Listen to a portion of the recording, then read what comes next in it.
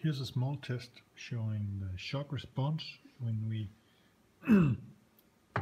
make a step impulse on the accelerometers. Response from the piezoelectric and the MEMS uh, accelerometer are both shown here. The lower one is the MEMS, which has quite a bit of noise. The upper one is the piezoelectric one. The piezoelectric one has a sensitivity of 100 millivolts per G where our MEMS has one sensitivity of 24 millivolts per G, so it's approximately four times less sensitive. If we look up in the corner, we can also see there's a difference 200 divided with 50 millivolts with 4 in what we measure. So the amplitude should be pretty similar in the step response or whatever acceleration we put on.